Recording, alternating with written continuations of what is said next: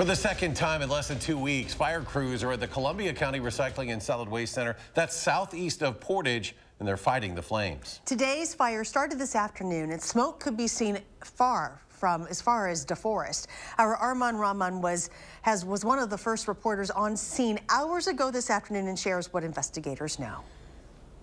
Multiple fires have been burning since around 2 p.m. Wednesday at the Columbia County Recycling and Garbage Center. And according to the Portage Fire Chief, there's places still on fire that they can't get to as of Wednesday evening.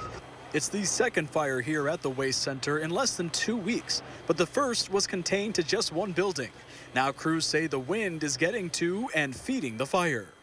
It's, I mean, it's in the open this time. Before we were in that side that building, so we were controlling inside there. Now we're it was out in the open, so the wind caught it and took it. Which is why they haven't been able to enter the building at all Wednesday. There's not been a lot of manpower work yet. Um, mainly we're overhead using towers and trucks right now.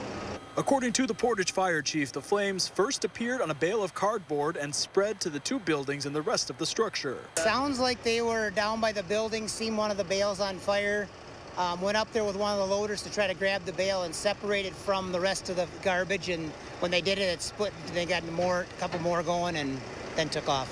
Officials ask people to avoid the area of Highway 16 between Wyocena and Portage for the rest of Wednesday night and into Thursday morning. In Pardeeville, Armand Rahman, News 3 Now. Chief Hasse says the Columbia County Sheriff's Office is investigating the fire and whether or not it is linked to the previous one 10 days ago, which they believe was caused by lithium ion batteries.